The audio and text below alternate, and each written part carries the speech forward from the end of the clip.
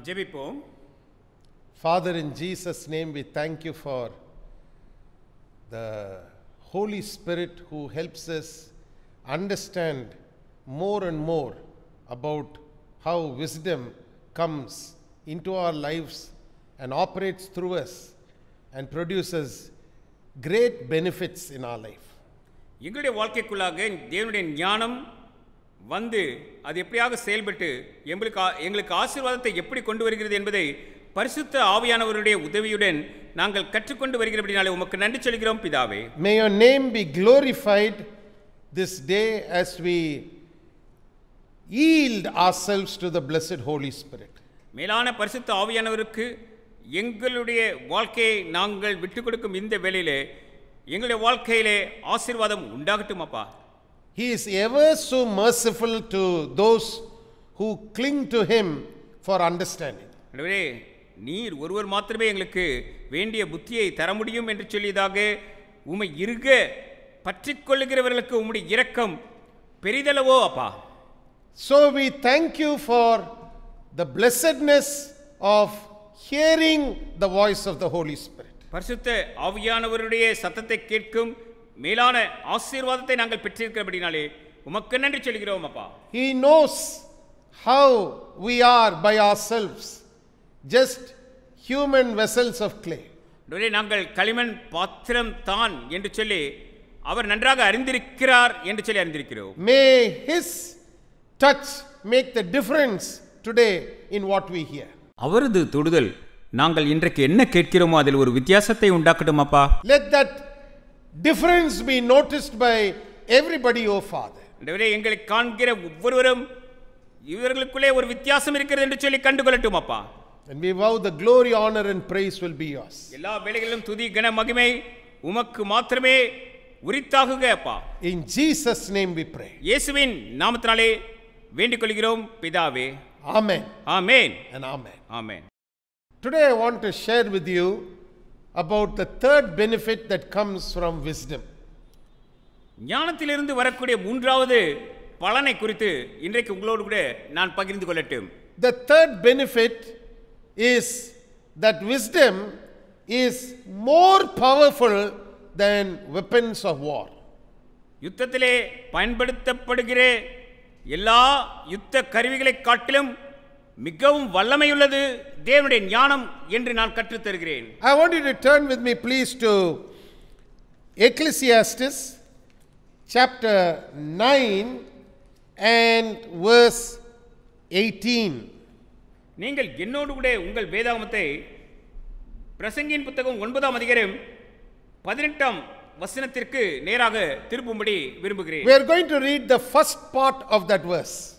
இந்த வசனத்தின் முதல் பகுதியை மட்டும் நாங்கள் வாசிக்க இருக்கிறோம் Wisdom is better than weapons of war.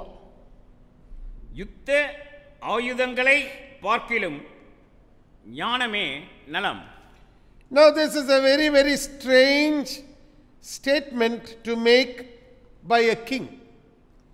இது ஒரு ராஜாவின் வாயிலிருந்து பிறக்கலாகாத ஒரு அந்நியமான வார்த்தையைப் போல இது காணப்படுகிறது Because normally kings like to brag about the structure and the strength of their army. பொதுவாக ஒரு ராஜா தன்னுடைய படைபலம் என்ன தன்னுடைய யுத்த கருவிகளினுடைய பலம் என்ன என்று பெருமையாக பேசுவதையே விரும்புவார்கள் fact, you have kings in the past, even in our land in India, who prided themselves in the way they had different types of weapons as well as different structures in their army. இன்றைக்கு நம்முடைய நாட்டிலேயே எடுத்துக்கொள்வோம் கடந்த காலத்திலே அவர்களிடத்திலே எவ்வளவு பலமான ஆயுதங்கள் இருந்தது எவ்வளவு யுத்த படை வீரர்கள் மிக சிறப்பான படை வீரர்களை படையை அவர்கள் பெற்றிருந்தார்கள் என்று சொல்லி அவர்கள் பெருமையாக பேசின ராஜாக்கள் நம்மிடத்திலே உண்டு In fact, we have history that tells us that there were kings in our land who, in the time they reigned, had different types of animals also as part of their army. நாம் வரலாற்றை புரட்டி பார்க்கும்போது நம்முடைய தேசத்திலேயே ராஜாக்கள் தங்களுடைய அவர்களுடைய படையிலே விலங்குகளையும் பெற்றிருந்தார்கள் என்று சொல்லியதாக பார்க்கிறோம் And so when you see King Solomon making a statement like this, because he was the one to whom we say wrote the book of Ecclesiastes, we find it as a strange statement. இந்த பிரசங்கியின் புத்தகம் Solomon ராஜாவால் தான் எழுதப்பட்டது என்று சொல்லியதாக அறிகிறோம் அப்படிப்பட்ட அந்த ராஜா இந்த வித்தியாசமான ஒரு கூற்றை சொல்வது அல்லது சொல்லி கேட்பது நமக்கு வித்தியாசமாக இருக்கிறது How can wisdom be better than weapons of war? யுத்த ஆயுதங்களை பார்க்கிலும் ஞானம் எப்படியாக நலமாயிருக்க முடியும் In verse 16, the Bible says, Wisdom is better than strength.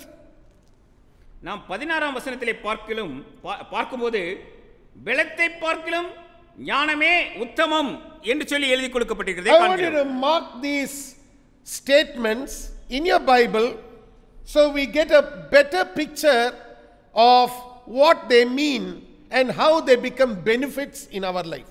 நம்முடைய வாழ்க்கையிலே ஞானத்தினால் வரக்கூடிய பலன்களாக இந்த வசனங்கள் எவைகளை நமக்கு கூறுகின்றன என்பதை அறிந்து கொள்வதற்கு இந்த இரண்டு வசனங்களையும் நீங்கள் குறித்து கொண்டால் நலமாயிருக்கும் Remember, when I began these teachings, I told you wisdom is an act. நான் இந்த செய்தி தொடரை ஆரம்பிக்கும் போது நான் உங்களுக்கு கற்றுத்தந்தது ஞானம் என்பது ஒரு செயல்பாடு என்று சொல்லி கற்றுக் தந்தேன் Now, the wise man is not saying strength is bad. He said strength without wisdom is not that much of a blessing. ஞானி பலவானாய் இருப்பது மோசம் என்று சொல்லவில்லை அவர் சொன்னது ஞானம் இல்லாது பெற்றிருக்கக்கூடிய பலம் அவ்வளவு தூரத்திற்கு ஆசீர்வாதமாக இராது என்பதே So, you must understand if there is no wisdom as an act in a person who has a lot of physical strength alone, then the physical strength of that person is going to be involved in foolishness. ஒரு மனிதனுக்குள் ஞானம் செயல்படுவதாக இல்லாது இருந்து அவரிடம் சரீர பலம் மட்டுமே அதிகமாக காணப்பட்டால் அந்த நபரின் சரீர பலம் மதீனமான செயல்களில் மட்டுமே ஈடுபடுத்தப்படும் That means we are looking at a man who's going to use all his strength for foolish acts. அது என்னத்தை காட்டுகிறது என்றால் அவரிடத்திலே பெற்றிருக்கக்கூடிய பலவானவற்றை எல்லாம் மூடத்தனமான செயல்களுக்கு அவர் எடுத்து பயன்படுத்துவதாக அமையும் How often have we seen men misuse their strength and end up falling either sick or destroying their strength altogether? நாம் அநேகரிடத்திலே பார்க்கும்போது தங்களுடைய பலத்தை அவர்கள் தவறானவற்றிலே தவறாக பயன்படுத்திவிட்டு கடைசியிலே பலமிழந்து அவர்கள் சொல்லப்போனால் சுகவீனமடைவதாக கூட பார்க்கிறோம் We also see an example of a person called Samson. நாம் பார்க்கக்கூடிய நல்ல உதாரணம் Samson In the book of Judges, we read about Samson and his life of supernatural strength. நியாயாதிபதிகளின் புத்தகத்திலே சிம்சோனை குறித்து வாசிக்கும்போது அவர் இயற்கைக்கு அப்பாற்பட்ட ஒரு பலத்தை பெற்றிருந்தார் என்று சொல்லி பார்க்கிறோம் But there were times he used that strength in the wisdom of God. Those times were all very blessed times. But there were also other times when he misused that strength and it ended in great foolishness and ultimate pain. நாம் அவருடைய வாழ்க்கையை உற்று நோக்கும்போது சில இடங்களிலே அவர் தான் பெற்றிருந்த பலத்தை சரியான விதத்திலே பயன்படுத்தி ஆசீர்வாதங்களை பெற்றுக்கொண்டதையும் பார்க்கிறோம். அதே வேளையிலே சில இடங்களிலே மதியீனமாக நடந்து கொண்டு இறுதியிலே மிகவும் அவர் வேதனையுறுவதாக கூட பார்க்கிறோம். Whenever he used his strength for anything unclean or evil or foolish, where there was no wisdom in operation, it ended in pain for Sa- Samson. சிம்சோனுக்கு அவர் எந்த இடத்திலெல்லாம் அசுத்தமான பொல்லாத அல்லது மதீனமான செயல்பாடுகளுக்கு தன்னுடைய பலத்தை பயன்படுத்தினாரோ அந்த இடத்தில் எல்லாம் அவர் மிகவும் வேதனையுற்றவராக நிற்பதை பார்க்கிறோம் Now, the Bible is telling us that wisdom is more powerful than weapons of war. யுத்த ஆயுதங்களை பார்க்கிலும் ஞானமே உத்தமம் என்று சொல்லி நமக்கு வேதாவும் கற்றுக் கொடுக்கிறது This is very important for us to learn about so that you can see, even in war, if wisdom is absent, we're going to have, at the end of the day, more loss of life, more loss to the economy of a nation, and more loss than gain. நாம் இன்றைக்கு நடைமுறையிலே யுத்தத்திலே பார்க்கும்போது கூட ஞானமாக நடந்து கொள்ளாமல் யுத்தம் செய்தால் அநேகரை அவர்கள் இழக்க வேண்டியது இருக்கும் அல்லது பொருளாதாரத்திலே பின்னடைவு ஏற்படும் அவர்கள் இறுதியில் தோல்வியை கூட சந்திக்க வேண்டியதாக இருக்கும் Finally, what we see taking place is there is no gain but tremendous loss. இறுதியிலே நாம் பார்ப்போமானால் அவர்கள் எதற்காக யுத்தம் செய்தார்களோ அந்த விதமான அந்த பலனை அல்லது முன்னேற்றத்தை பெற்றுக்கொள்ளாமர்கள் அவர்கள் அநேகமானவற்றை இழந்ததாக இருக்கும் That is the reason why we have Solomon as a man of peace establishing his kingdom more on the basis of peace than on the basis of war. இதனால் தான் நாம் பார்க்கும்போது சாலமோன் சமாதானத்தின் ராஜாவாக அவர் தன்னுடைய ராஜ்ய பாரத்தை நிலைப்படுத்தினாரே அல்லாமல் அவர் யுத்தத்தை சார்ந்து எந்த இடத்திலும் நின்றதாக பார்க்கவில்லை So, as a result of this, we see that Solomon gained a lot more in his time than he would have gained by waging war with neighboring countries. முடிவிலே நாம் பார்க்கும்போது அவர் மற்ற சுற்றி இருக்கக்கூடிய தேசத்தார் கூட யுத்தம் செய்து அவர் எவ்வளவு ஆதாயம் பெற்றிருப்பாரோ அதை காட்டிலும் அதிகமாக அவருடைய வாழ்நாளிலே அதிகமான பலன்களை பெற்றுக்கொண்டதாக பார்க்கிறோம் Now, when you read a statement like this, don't think that Solomon lived like a fool. இந்த கூற்றை சாலமோன் சொல்லி இருப்பதனால் அவர் மதீனமாக வாழ்ந்திருப்பாரோ என்று சொல்லி நீங்கள் சிந்திக்க வேண்டாம் want to show you a very pertinent verse from the Bible about how Solomon actually lived his life. Solomon தன்னுடைய வாழ்நாளை எப்படியாக கழித்தார் எப்படியாக வாழ்ந்தார் என்பதை குறிக்கும் ஒரு நல்ல வசனத்தை உங்களுக்கு வேதாகமத்திலிருந்து எடுத்துக்காட்ட விரும்புகிறேன் Now, whenever we see great dignitaries in nations traveling, along with them there goes a whole entourage of men who are called security men. மிக கனத்திற்குரியவர்கள் அவர்கள் ஒரு தேசத்தை விட்டு கடந்து செல்லும்போது அவர்களோடு கூட அநேக ஜனத்தார் செல்வார்கள் அவர்களை பாதுகாவலர்கள் என்று சொல்லுவார்கள் So we know that the person who's traveling is not only a very important person, but he is also a high risk target.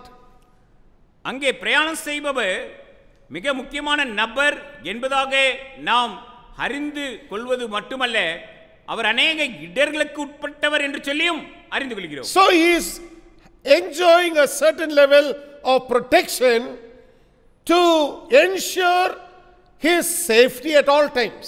இதனால் தன்னை பாதுகாத்துக் கொள்ளும்படிக்கு சுற்றிலும் ஒரு பாதுகாப்பு வளையத்தை அவர் பெற்றிருக்க வேண்டியது அவசியமாயிருந்தது That by itself is an act of wisdom. இப்படி நாம் பார்ப்பதே அவர் ஞானமாக நடந்து கொள்ளுகிறார் என்று அர்த்தப்படுத்துகிறது You must not think that because he is having a security cordon around him, that is an act of foolishness. அவர் தன்னை சுற்றி பாதுகாப்பு வளையத்தை பெற்றிருப்பதினாலே அவர் மதீனமாக நடந்து கொள்கிறார் என்று சொல்லி நீங்கள் யோசிக்க கூடாது why I told you wisdom is an act. இதனால் தான் நான் ஏற்கனவே சொன்னேன் ஞானம் அது செயல்படும் செயல்பாடு என்று So, if you operate in wisdom, you can ensure to a great extent that you put down all types of unnecessary, aggressive acts of foolishness.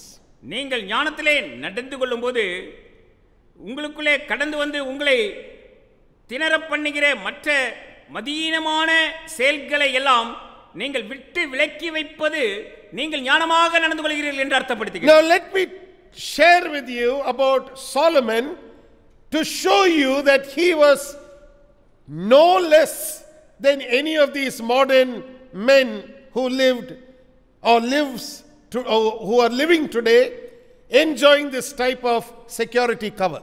இன்றைக்கும் நாட்களிலும் கூட இப்படிப்பட்ட பாதுகாப்பை பெற்றிருக்கிற அல்லது பெற்றிருந்து மிகப்பெரிய தலைவர்கள் ஒருவரை காட்டிலும் சாலமோன் கீழானவர் அல்ல என்று உங்களுக்கு நான் எடுத்து காட்டட்டும் Turn with me, please, to the book that we call the Song of Solomon.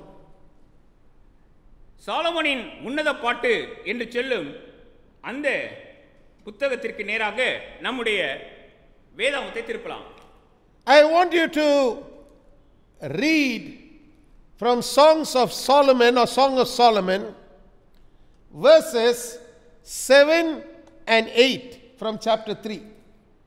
சாலமோனின் உன்னத பாட்டு என்னும் புத்தகத்தில் மூன்றாம் அதிகாரத்தில் உள்ள ஏழாம் எட்டாம் வசனத்தை நான் உங்களுக்காக வாசிக்கட்டும் Very often this verse is read, but people actually don't pay attention to it because the concentration is on other things when they read this book. இந்த புத்தகத்தை வாசிக்கும் போது அவர்களுடைய கவனம் வேறு இடத்திற்கு சிதறி இருக்கிறபடினாலே இங்கே இந்த வசனம் என்ன கருத்தை கூறுகிறது என்பதை அநேகர் சரியான விதத்திலே அறியாதவர்களாக இருப்பார்கள் Please let me read this to you. இந்த வசனத்தை நான் உங்களுக்காக வாசிக்கட்டும் Solomon and how he was in his lifetime is recorded for us here in verses 7 and 8. Behold his bed, which is Solomon's, three score valiant men are about it of the valiant of Israel. They all hold swords, being expert in war. Every man hath a sword upon his thigh because of fear in the night. உன்னத பாட்டின் புத்தகம் மூன்றாம் அதிகாரம் ஏழாம் எட்டாம் வசனத்திலிருந்து Solomon அவர் வாழ்ந்த நாளிலே எப்படியாக வாழ்ந்தார்? என்று சொல்லி நாம் அறிகிறோம். ஏழாம் வசனம் இதோ சாலமோனுடைய மஞ்சம் இஸ்ரவேலின் சௌரியவான்களில் அறுபது சௌரியவான்கள் அதை சுற்றி நிற்கிறார்கள். இவர்கள் எல்லோரும் பட்டயம் பிடித்து யுத்தத்துக்கு பழகினவர்களாயிருந்தார்கள். ராக்கால பயத்து நிமித்தம் அவனவனுடைய பட்டணம் பட்டயம் அவனவன் அறையில் இருக்கிறது From the verses we read, we see that Solomon was not a fool. நாம் வாசித்த இந்த வசனங்களிலிருந்து சாலமோன் மதீனராக நடந்து கொள்ளவில்லை என்று சொல்லி அறிந்து கொள்கிறோம் Even though he said wisdom is more powerful than weapons of war, he very, very clearly tells us by his own words about how he took precaution against foolish attempts that would be made against his life. யுத்த ஆயுதங்களை பார்க்கிலும் ஞானமே நலம் என்று சொன்ன அதே Solomon தான் தன்னை சுற்றி எதிர்ப்புகள் எதிராளிகள் தாக்க வந்துவிடாது தன்னை பாதுகாத்து கொள்வதற்காக அவர் என்ன முன்னேற்பாடாக செய்திருந்தார் என்று சொல்லி இந்த வசனங்களிலே இருந்து அறிகிறோம் You must see these verses in the right context. It tells us around his bed, that is when he went to sleep, there were 60 valiant men armed and ready to defend Solomon right through the day and especially through the night நாம் இந்த வசனம் என்ன சூழ்நிலையிலே நமக்கு சொல்லப்பட்டது என்று சொல்லி அறிந்து கொள்ள வேண்டும். சாலமோனின் மஞ்சம் அல்லது படுக்கை அதிலே அவர் நித்திரை செய்யும்படிக்கு செல்லும்போது அவரை சுற்றி அறுபது படை வீரர்கள் ஆயுதத்தோடு அவரை பாதுகாக்கும்படிக்கு நின்றார்கள். விசேஷமாக இரவு வேளையிலே என்று சொல்லி அறிந்து கொள்கிறோம். These were not ordinary people, they were the best of the very best of Israel's soldiers. இஸ்ரவேல் சேனை வீரர்களிலேயே மிக உன்னதமாக இருந்த படை வீரர்கள்தான் ராஜாவை பாதுகாத்து வந்தார்கள் என்று சொல்லி இந்த வசனத்திலிருந்து அறிந்து கொள்கிறோம். And all 60 of them, through the night, were battle ready at all times to tackle any form of threat against Solomon's life. சாலமோனுடைய வாழ்க்கைக்கு விரோதமாக எந்த ஒரு எதிர்ப்பு இரவு வேளையிலே வந்தாலும் அதனை தாக்கி மேற்கொள்வதற்கு ஆயத்தமாக இருந்த அறுபது சௌரியவான்கள் ஆக அவர்கள் இருந்தார்கள் என்று சொல்லி அறிகிறோம் I want you to notice how they carried their sword. It is said here that their sword was upon their thigh and not inside the scabbard. அவர்கள் எப்படி ஆயத்தமாக இருந்தார்கள் என்று சொல்லியும் அறிந்து கொள்கிறோம் ராக்கால பயத்து நிமித்தம் அவனுடைய பட்டவன பட்டயம் அவனவன் அறையில் இருக்கிறது என்று சொல்லி பார்க்கிறோம் It was not inside the scabbard. அது அவனுடைய அறையிலே இருந்ததே அல்லாமல் அதனுடைய உரையிலே இல்லை என்று சொல்லி அறிந்து கொள்ளுங்கள் So it was all the time exposed, ready for war, but right through these 40 years that Solomon ruled, there wasn't anyone who had the foolishness to ever attempt even once against Solomon any form of aggression in the night. அவர்கள் அறையில் இருந்தது என்று சொல்லி அறியும் போது அது என்னத்தை காட்டுகிறது என்றால் அவர்கள் எந்த அச்சுறுத்தும் காரியம் நிகழ்ந்தாலும் உடனடியாக அவர்கள் தாக்குதலை மேற்கொள்ள ஆயத்தமாக இருந்தார்கள் என்று சொல்லி அறிகிறோம். ஆனால் சாலமோனுடைய வாழ்நாளிலே நாற்பது வருட காலமாக பார்க்கும்போது எந்த ஒருவரும் அவரை தாக்குவதற்கென்று மதீனமாக முன்வரவில்லை என்று சொல்லி நாம் அறிந்து கொள்ள வேண்டும். That's why it is always better than exposing yourself to foolishness to walk in wisdom. நீங்கள் மதீனமாக நடப்பதற்கென்று உங்களை விட்டுக் கொடுக்காது தேவனுடைய ஞானத்திலே நடந்து கொள்ள பழகுவது இதனால் தான் உத்தம் என்று உத்தமம் என்று நான் உங்களுக்கு சொல்லுகிறேன் That's the reason again why I told you that rather than going to war, it is far better to take all the necessary precautions to avoid warfare. இதனால் தான் ஏற்கனவே நான் உங்களுக்கு சொன்னேன் யுத்தத்தை மேற்கொள்வதற்கு மேலாக யுத்தம் நிகழாதபடிக்கு பாதுகாப்பாக நம்மை பாதுகாத்துக் கொள்வது நல்லது என்று சொன்னேன் I want to show you how wisdom averted the death of many people in the Bible. வேதாகமத்தில் அநேகரை எப்படி மரணத்தில் இருந்து ஞானமானது தப்புவித்தது என்பதை உங்களுக்கு எடுத்துக்காட்ட இருக்கிறேன் I want to share with you about the life of a man called Sheba. Sheeba என்னும் ஒருவரை குறித்ததாக நான் வேதாகமத்திலிருந்து உங்களுக்கு எடுத்து காட்ட விரும்புகிறேன் Sheba was the son of a man called Bichri. பிச்சிலே என்பவருடைய மகனாக இந்த ஷீபா அல்லது ஷேபா என்பவர் இருந்தார் Turn with me, please, to 2 Samuel chapter 20, and we are going to learn about the power of wisdom against the weapons of war. யுத்த ஆயுதங்களை பார்க்கலாம் ஞானம் எவ்வளவு மேன்மையானது என்று சொல்லி அறிந்து கொள்ளும்பொழுது நாம் ரெண்டு சாமுவேல் புத்தகம் இருபதாம் அதிகாரத்துக்கு நேராக நம்முடைய வேதாகமத்தை திருப்பலாம் 2 Samuel chapter 20, verse 1 introduces us to this man. ரெண்டு சாமுவேல் இருபதாம் அதிகாரம் முதல் வசனம் இந்த மனுஷரை நமக்கு அறிமுகம் செய்து வைப்பதாக இருக்கிறது And there happened to be there a man of Belial, whose name was Sheba, the son of Bichri, a Benjamite, and he blew a trumpet and said, We have no part in David, neither have we inheritance in the son of Jesse, Every man to his O Israel ரெண்டு Samuel இருபதாம் அதிகாரம் முதல் வசனம். அப்பொழுது பென்யமீன் மனுஷனான பிக்கிரியின் குமாரனாகிய சேபா என்னும் பேருள்ள பேலியாளின் மகனுஷன் ஒருவன் தற்செயலாய் அங்கே இருந்தான். அவன் எக்காலம் ஊதி எங்களுக்கு தாவிதினிடத்தில் பங்கும் இல்லை ஈசாயின் குமாரனிடத்தில் எங்களுக்கு சுதந்திரமும் இல்லை. இஸ்ரவேலே நீங்கள் அவரவர் தங்கள் கூடாரங்களுக்கு போய்விடுங்கள் என்றான். Now, Sheba, the son of Bichri, is introduced to us as a son of Belial. பேலியாளின் மனுஷன் என்று சொல்லியதாக பிக்ரியின் குமாரனாகிய இருந்த சேபா நமக்கு அறிமுகம் செய்து வைக்கப்படுகிறார். He was from the tribe of Benjamin, which was the tribe that produced the first king of Israel.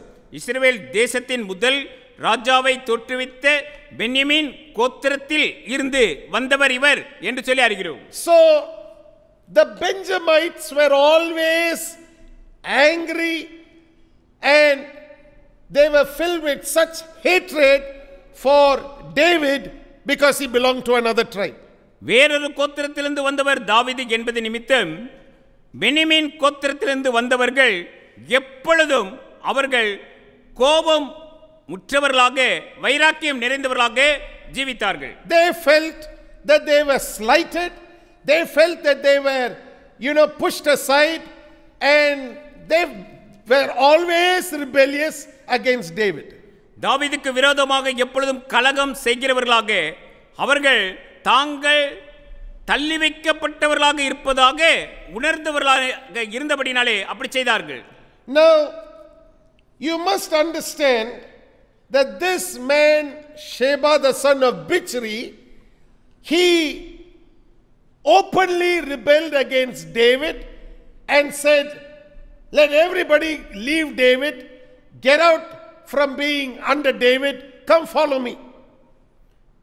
தாவிதுக்கு விரோதமாக வெளிப்படையாக இங்கே பிக்ரியின் குமாரனாகிய சேபா கலகம் செய்வதை பார்க்கிறோம். அவர் தாவிதனிடத்தில் எனக்கு பங்கு இல்லை என்று சொல்லிவிட்டு அவனை விட்டு பிரிந்து என் பின்னாலே வாருங்கள் என்று சொல்லி ஒரு அறைகூவலை விடுவதை பார்க்கிறோம். Now, as you read this entire chapter, you begin to see that following David were the men of Judah. நாம் இந்த முது முழு அதிகாரத்தையும் வாசித்து பார்ப்போமானால் தாவீதுக்கு பின்னால் சென்று கொண்டிருந்தவர்கள் யூத கோத்திரத்தை சேர்ந்தவர்களாக இருந்தார்கள் And heading the men of Judah was a man called Joab. இந்த யூதர்களுக்கு வழிகாட்டியாக அல்ல வழி நடத்துபவராக யோவாப் என்பவர் இருந்தார் Remember, Joab was no one else but David's sister's son. யோபா வேறு யாருமல்ல தாவீதின் சகோதரியின் மகனாக இருந்தார் So, this man followed after Sheba in battle or into battle, and they were pursuing Sheba when he went and hid himself in a particular place.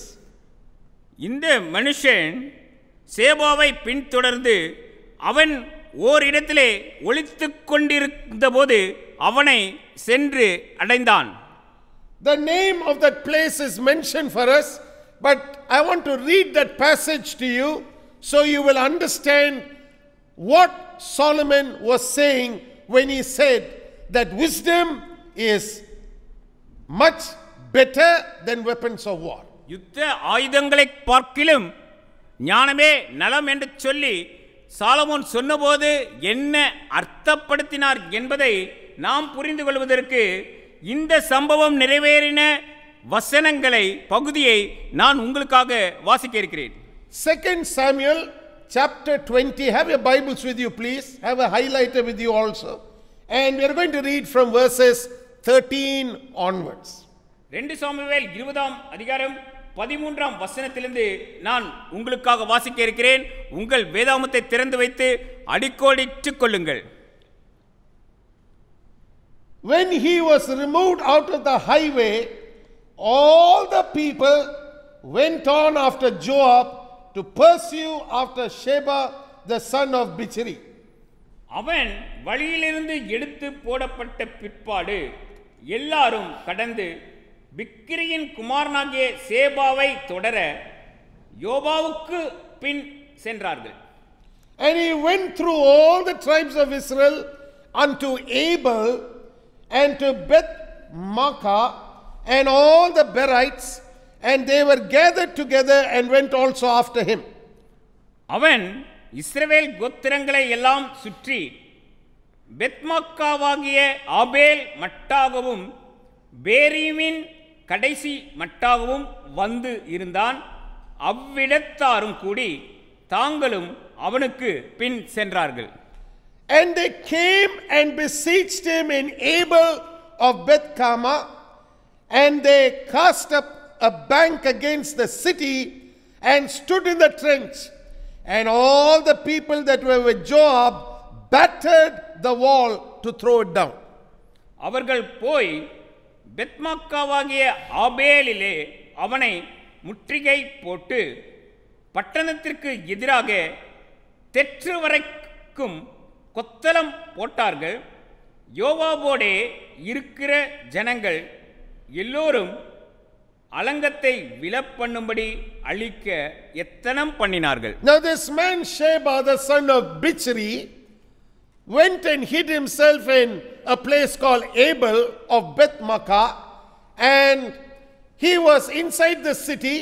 The city had walls built to protect it, and so the soldiers under Joab were trying to beat the wall down. பட்டணத்திற்குள்ளே இருக்கக்கூடிய பெத்மாக்காவாகிய ஆபேலிலே இந்த பிக்ரியின் குமாரனாகிய சேபா தன்னை ஒழித்து கொண்டு இருந்தான் யோவாபோடு கூட வந்த சேனை வீரர்கள் அவனைச் சுற்றி பாதுகாப்பாய் இருந்த அலங்கத்தை விலப்பண்ணும்படிக்கு எத்தனம் பண்ணினார்கள் Now look at the next verse because we are going to see a sharp contrast between this man called Sheba and a woman who was in that city. இந்த சேபா என்னும் மனிதனுக்கும் அந்த பட்டணத்தில் இருந்த ஸ்திரீ ஒருவருக்கும் உள்ள வித்தியாசத்தை நாம் அடுத்த வசனத்திலிருந்து அறிந்து கொள்கிறோம் Don't forget that the introduction of this man is he is a son of Belial. பேலியலின் குமாரன் என்று பேலியாளின் குமாரன் மனுஷன் என்று சொல்லி இந்த சேபா அறிமுகப்படுத்தப்பட்டார் என்பதையும் நினைவிலே வைத்திருங்கள் Now look, look at verse 16. Then cried a wise woman out of the city. I want you to mark that down. பதினாறாம் வசனத்திலே இருந்து அறிகிறோம் அப்பொழுது புத்தியுள்ள ஒரு ஸ்திரீ பட்டணத்திலிருந்து சத்தமிட்டு கேளுங்கள் கேளுங்கள் என்றார். She said, Here, here, say, I pray you unto Joab, come near hither that I may speak with you. நான் யோவாபோடே பேச வேண்டும். அவரை இங்கே கிட்ட வரச் சொல்லுங்கள் என்றாள். Now listen, this wise woman knew and no good fellow has entered the city, and because of the no good fellow entering the city, now the entire city is standing in great jeopardy of their lives. இந்த புத்தியுள்ள ஸ்திரீ அறிந்து கொண்டாள் அவளுடைய தேசத்துக்குள்ளே ஒரு நல்லவன் அல்லாத பொல்லாத மனுஷன் நுழைந்து விட்டான் என்பதையும் அப்படியாக அவன் நுழைந்தது நிமித்தம் அந்த பட்டணமே ஆபத்தில் இருக்கிறது என்று சொல்லி அறிந்து கொண்டார் Now let me read to you verse 17. நான் இப்பொழுது பதினேழாம் வசனத்தை உங்களுக்காக வாசிக்கட்டும் And when he was come near unto her, the woman said, Art thou Joab? And he answered, I am he. Then she said unto him, Hear the words of thine handmaid. And he answered, I do hear. அவன் அவளுக்கு சமீபத்தில் வந்தபோது அந்த ஸ்திரீ நீர் தானா யோவாப்? என்று கேட்டாள் அவன் நான் தான் என்றான். அப்பொழுது அவள் அவனை பார்த்து உமது அடியாளின் வார்த்தைகளை கேளும் என்றாள். அவன் கேட்கிறேன் என்றான். Now we are going to read the most important part, and I want you to have your highlighter with you to mark these parts down. நாம் இப்பொழுது இந்த செய்தியின் மிக முக்கியமான பகுதிக்கு வந்திருக்கிறோம் இந்த வசனத்தை நான் வாசிக்கும் போது நீங்கள் அடிக்கோடிட்டு கவனித்து புரிந்து கொண்டால் நலமாயிருக்கும் Now look at verse 18. Then she spake, saying, they were wont to speak in old times, saying, They shall surely ask counsel at Abel, and so they ended the matter.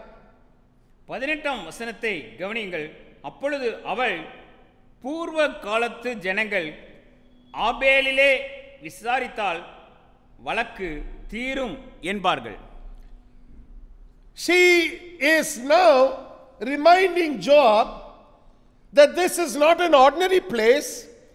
This is a place where the counsel is always sound when it comes because the people of this city were not no good people, they were good people, they were nice people, they were godly people. Most importantly, they were people of wisdom. இந்த தேசத்திலே இருக்கின்ற ஜனங்கள் யாவருமே அவர்கள் ஞானத்தினால் நிறைந்து நல்லவர்களாக இருக்கின்றார்கள் என்று சொல்லி இந்த பெண்மணி யோவாபினிடத்திலே எடுத்து அவனுக்கு நினைவுக்கு கொண்டு வருவதை என்று பார்க்கிறோம் wanted Joab to know that this was not a recent occurrence, but even from time past, people respected the city of Abel in Beth Makkah. பெத்மாக்காவிலே இருக்கக்கூடிய அபேல் என்னும் இந்த பட்டணத்தை ஜனங்கள் எப்பொழுதும் மதித்து வந்தார்கள் இந்த சமயம்தான் இப்படி நடக்கிறது என்று இல்லை என்று சொல்லி யோவாவுக்கு அவள் எடுத்து காட்டினாள் Now you have your highlighter in your hand, and look at verse 19. It says, Now she is speaking to Joab. she is telling him this I am one of them that are peaceable and faithful in Israel. Thou seekest to destroy a city and a mother in Israel. Why wilt thou swallow up the inheritance of the Lord? பத்தொன்பதாம் வசனம் தான் நமக்கு மிக முக்கியமான சத்தியத்தை கற்றுக் கொடுக்கிறதாக இருக்கிறபடினாலே நீங்கள் இதை அடிக்கோடிட்டு படித்துக் கொள்ள வேண்டும்பதை நான் விரும்புகிறேன் பத்தொன்பதாம் வசனம் இஸ்ரவேலிலே நான் சமாதானமும் உண்மையும் உள்ளவளாய் இருக்கையில் நீர் இஸ்ரவேலிலே தாய்ப்பட்டணமாயிருக்கிறதை நிர்மூலமாக்க பார்க்கிறீரோ? நீர் கர்த்தருடைய சுதந்திரத்தை விழுங்க வேண்டியது என்ன? என்றால் Highlight the word inheritance of the Lord. கர்த்தருடைய சுதந்திரம் என்ற வார்த்தைகளை அடிக்கோடிட்டுக் கொள்ளுங்கள். Highlight that phrase mother in Israel. தாய்ப்பட்டணமாய் இருக்கிறதை என்று ஒரு சொற்றொடர் இருக்கிறதே அந்த வார்த்தைகளை அடிக்கோடிட்டுக் கொள்ளுங்கள் I want you to mark this, please. இந்த வார்த்தைகளை நீங்கள் அடிக்கோடிட்டு கொண்டால் நலமாயிருக்கும் Now, follow carefully. When she reminded Joab that she was a peaceable person, a faithful person, a mother in Israel, and also the entire city and people belong to God, look at what Joab said. நன்றாக கவனியுங்கள் அவள் தான் சமாதானம் பெற்றிருப்பவள் உண்மையாக நடந்து கொள்பவள் இஸ்ரேவேலில் உள்ள ஒரு தாய் என்று யோபாவிடம் நினைவுபடுத்திய அவள் முழு நகரமும் ஜனத்தாரும் தேவனுக்கு சொந்தமானவர்கள் என்று சொன்னபோது யோபாப் அளித்த பதிலை பாருங்கள் So here in verse 20, Joab is replying to her, and listen to how he speaks. And Joab answered and said, Far be it, far be it from me that I should swallow up or destroy. இருபதாம் வசனத்தை கவனிங்கள் மிக அழகாக யோவாப் பதில் அளிப்பதை பார்க்கிறோம் விழுங்க வேண்டும் அழிக்க வேண்டும் என்கிற ஆசை எனக்கு வெகு தூரமாயிருப்பதாக The matter is not so, verse 21, but a man of Mount Ephraim, Sheba, the son of Bichri by name, had lifted up his hand against the king, even against David. Deliver him only, and I will depart from the city. And the woman said unto Job, uh, Joab, Behold, his head shall be thrown to thee over the wall. இருபத்தி ஓராம் வசனம் காரியம் அப்படி அல்ல. பிக்கிரியின் குமாரனாகிய சேபா என்னும் பேருள்ள எப்ராயிம் பர்வதத்தானாயிருக்கிற ஒரு மனுஷன் ராஜாவாகிய தாவிதுக்கு விரோதமாய் தன் கையை ஓங்கினான். அவனை மாத்திரம் ஒப்புக்கொடுங்கள் அப்பொழுது பட்டணத்தை விட்டு போவேன் என்றான். அப்பொழுது அந்த ஸ்திரீ யோவாவை பார்த்து இதோ அவன் தலை மதிலின் மேலிருந்து உம்மிடத்திலே போடப்படும் என்று சொல்லி Now, in verse 22, the Bible says, Then the woman went unto all the people in her wisdom. இருபத்தி ரெண்டாம் வசனம் அவள் ஜனங்களிடத்தில் போய் புத்தியாய் பேசினதினால் என்று சொல்லி தமிழ் வேதாகமத்தில் இருக்கிறது அதை இப்படியாகவும் எடுத்துக்கொள்ளலாம் அவள் ஞானமாய் பேசினாள் என்று And they cut off the head of Sheba, the son of Bichri, and cast it out to Joab. And he blew a trumpet, and they retired from the city, every man to his tent. And Joab returned to, to Jerusalem unto the king. அவர்கள் பிக்ரியின் குமாரனாகிய சேபாவின் தலையை வெட்டி யோவாபிடத்திலே போட்டார்கள். அப்பொழுது அவன் எக்காலம் ஊதினான்? அவரவர் பட்டணத்தை விட்டு கலைந்து தங்கள் குடாரங்களுக்கு புறப்பட்டு போனார்கள். Hundreds of life were saved that day because of the wisdom of one woman who chose to stand up against a no gooder who was in their midst.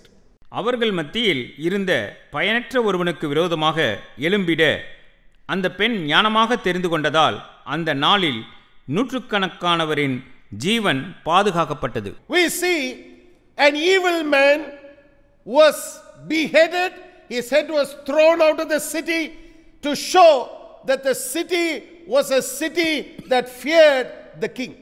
நாம் ஒரு பொல்லாத மனிதனின் தலை துண்டிக்கப்பட்டு அந்த பட்டணம் ராஜாவுக்கு பயப்படும் பட்டணம் என்பதை காட்டும்படி அவனது தலை பட்டணத்திற்கு வெளியில் தூக்கி எறியப்பட்டதை பார்க்கிறோம் Because of that one act of wisdom, hundreds of lives were saved, could be even thousands.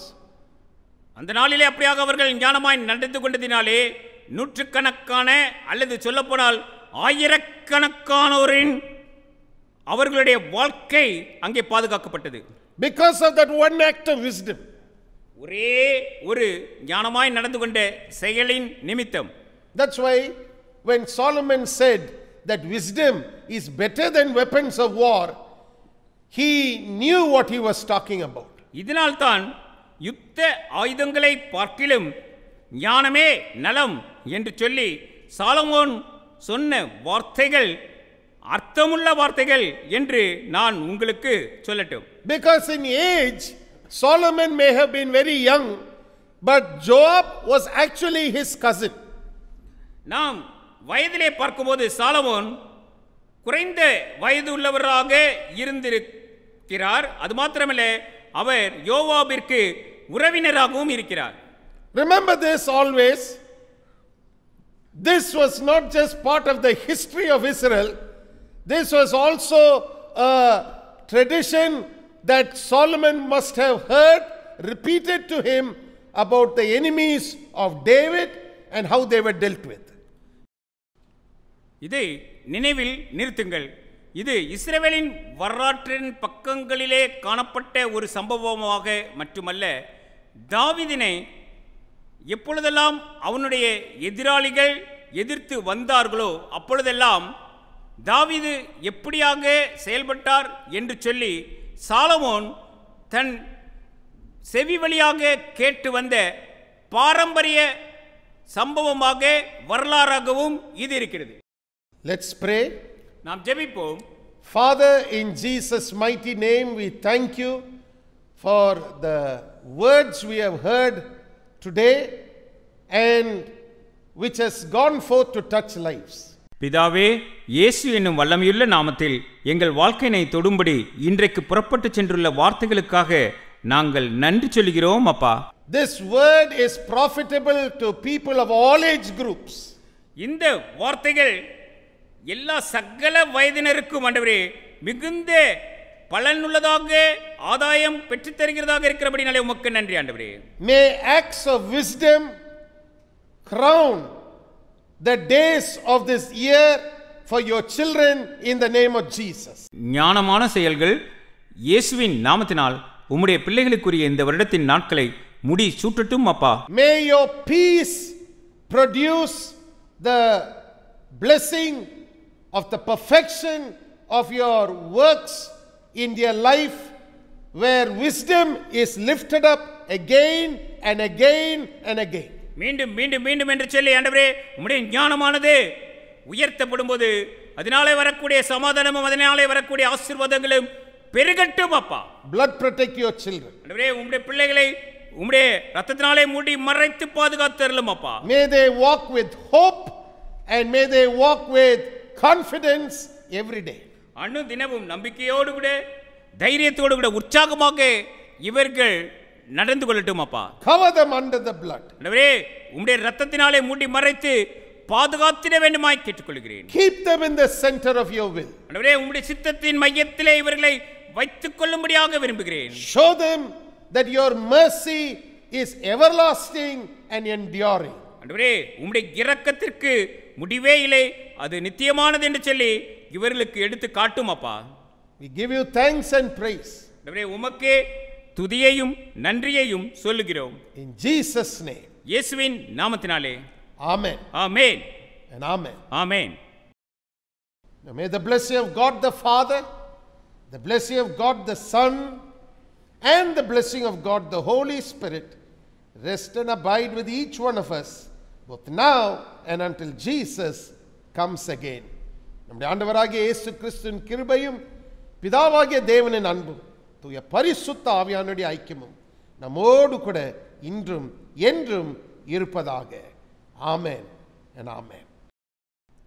I want you to know that God has a special plan for your life உங்களுடைய வாழ்க்கையை குறித்தது குறித்து தேவன் ஒரு நல்ல அருமையான திட்டத்தை வைத்திருக்கிறார் என்று நான் உங்களுக்கு சொல்லுகிறேன். It is a plan in which God wants you to walk in divine wisdom and with great understanding in your spirit. உங்களுடைய ஆவியிலே தெய்வீக ஞானத்தை பெற்றவர்களாக நீங்கள் புத்தியோடு கூட அறிவோடு கூட நடந்து கொள்ளும்படியாக தேவன் விரும்புகிறார் என்று சொல்லி அறிந்து கொள்ளுங்கள் Learn to yield to that every day of this year 2021. இந்த இருபது இருபத்தி ஓராம் வருடத்தின் ஒவ்வொரு நாளிலும் இந்த சத்தியத்திற்கு உங்களை முழுவதுமாக விட்டு கொடுங்கள் May God bless you. தேவன் தாமே உங்களையும் என்னையும் ஆசீர்வதிப்பாராக. காட்டீனில் வாழ்கின்ற யாவும் கடும் காற்றும் பனி தூரலும் நாட்டீனில் வாழ்கின்ற யாவும் நாதா உமை போற்றுமே. காட்டீனில் வாழ்கின்ற யாவும் கடும் காற்றும் பணி தூரலும் நாட்டீனில் வாழ்கின்ற யாவும் நாதா உம்மை போற்றுமே. ஸ்தோத்திரம் ஸ்தோத்திரம்